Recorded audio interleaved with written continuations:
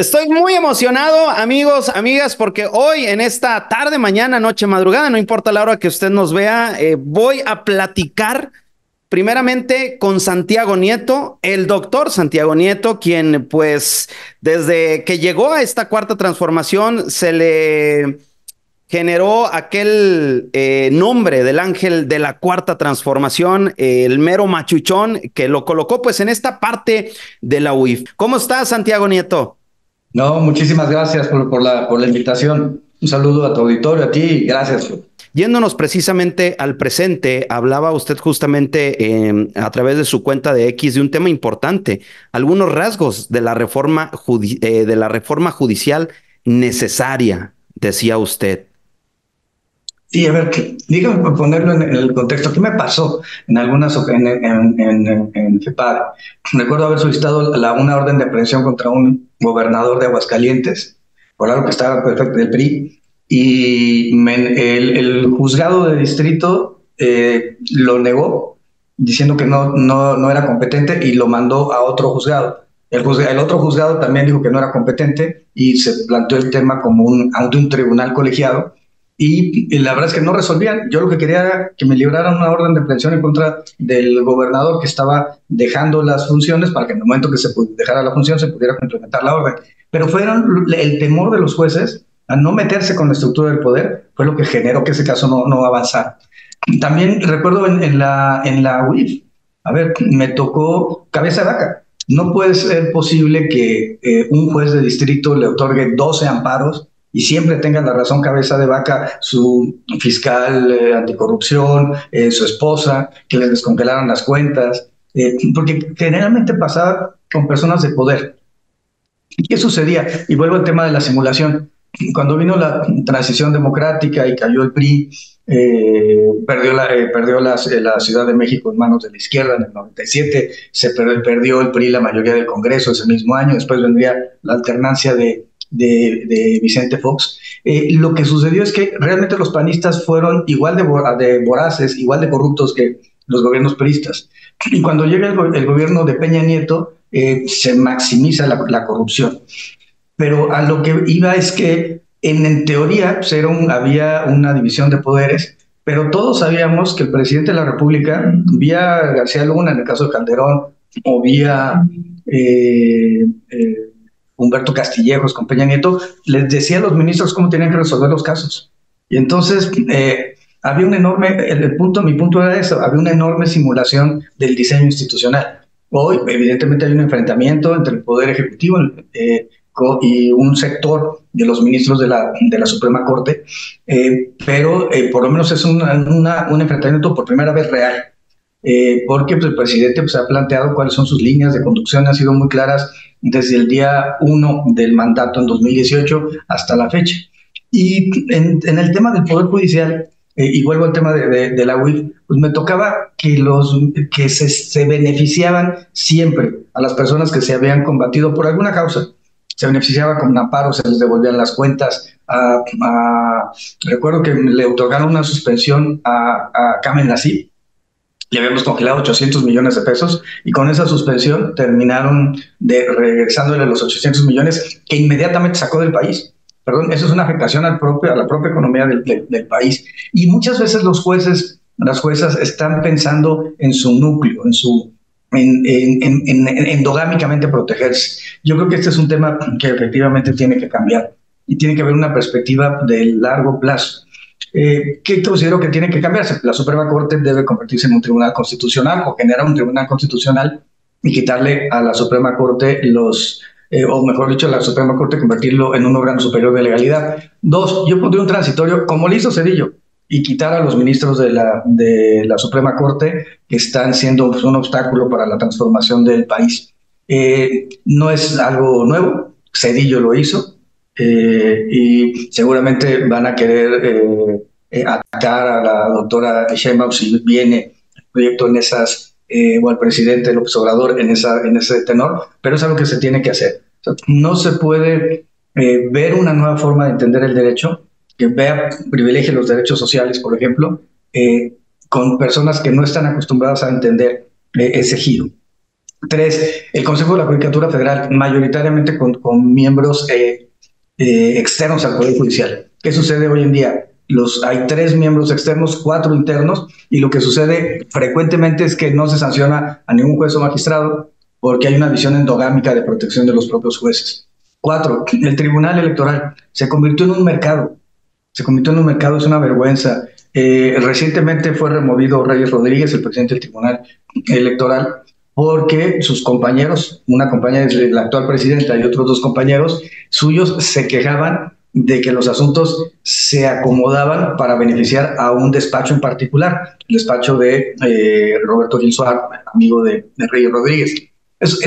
Convirtieron, Reyes convirtió al Tribunal Electoral en un mercado y eso pues, es algo que no puede que no puede tolerarse. Eso necesita tener una modificación y que el Consejo de la Judicatura tenga algún control sobre eso.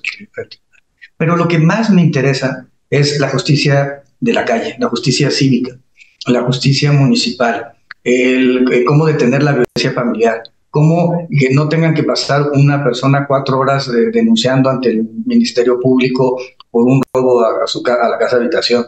Eh, eh, necesitamos que haya un verdadero servicio civil de carrera en, el, en los ministerios públicos, que se fortalezca la, la, posición de las, de las policías para que desarrollen un buen trabajo de investigación y sobre todo atender eso, atender las violaciones, atender las, los temas, disminuirlos, el, el eh, eh, eh llevar a los responsables a los ante los tribunales, sea un tipo que se haya robado dos mil millones de pesos, como sucedió con la estafa siniestra en Hidalgo, o sea una, una persona que haya violentado a su entorno familiar. lo más importante, creo yo, es que necesitamos una reforma al Poder Judicial que no, que no sea para el, para el fortalecimiento de las élites del Poder Judicial, sino que sea para el fortalecimiento del sistema de justicia que le llegue a los ciudadanos. Veía que estaban publicando algunos en, en, en, las cuentas de X que vienen invirtiendo mucha lana para esta campaña sucia en, su, en tu contra. Precisamente gente del calderonismo, pues creo que son los que más te traen en jaque ahí, este grupo calderonista, Gil Suar, este, Javier Lozano y estos, ¿no? Sí, pero a ver, yo, diría, sí, efectivamente todas las denuncias que tengo las han presentado ellos, tanto, tanto los, en realidad Roberto Gil y Cabeza de Vaca, pero bueno, pero bueno, Lozano es, es, el saco puse su, buzón, su bufón, entonces lo traen ahí de acompañamiento para que metan, para que ponga tweets, pero eh, digamos no es una gente seria. Eh, pero, eh, a ver, yo sí diría, ¿qué pasó? un poco explicando qué fue lo que sucedió. E-, este grupo de los panistas rebeldes que empezaron en el sexenio Peña Nieto a ganar eh, con el apoyo de Osorio las, eh, algunas gubernaturas. Y en esas gubernaturas pensaron que en el 2018 alguno de ellos iba a ser el candidato a la presidencia de la República. La verdad es que por un lado Anaya les escondió la candidatura dentro del PAN y por otro lado pasó un vendaval llamado Andrés Manuel López Obrador que los barrió y llegó con 53% de la votación. Ya en el sexenio del presidente, lo que intentó este grupo es eh, hacer la alianza federalista, que ha sido el fracaso político más importante del sexenio de la, de la oposición. ¿Y qué quisieron? Se separaron 10 gobernadores de la CONAU, eh, pristas de MC y del PAN, encabezados por Cabeza de Vaca.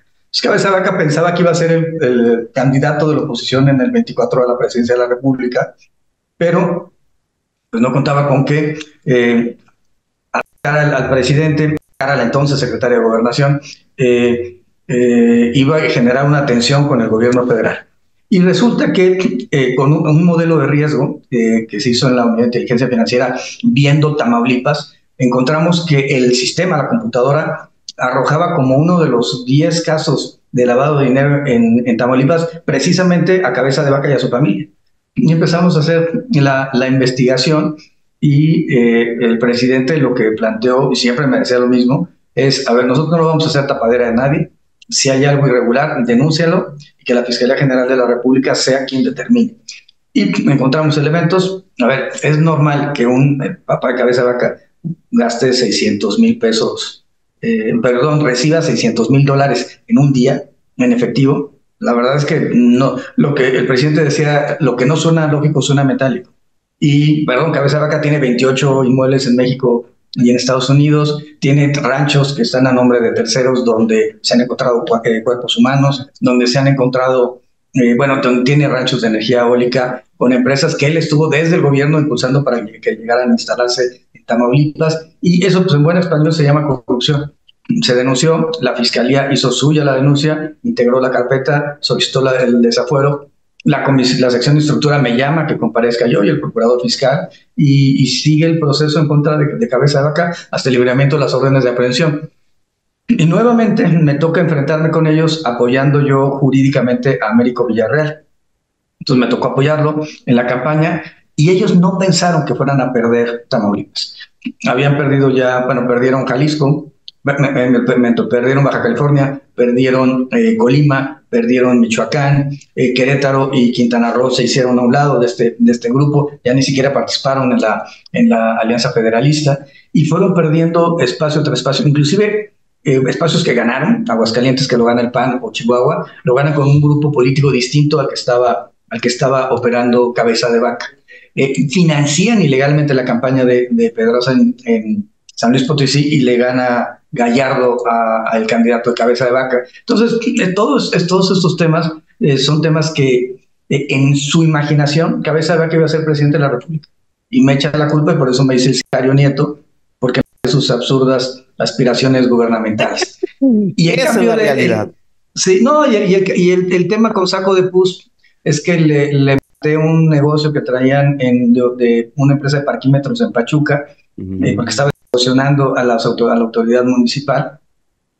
Y, bueno, y también, eh, y, también yo tuve que ver en que se, se generaran las investigaciones por corrupción en Tamaulipas contra todo este grupo. Entonces yo estoy eh, eh, tranquilo.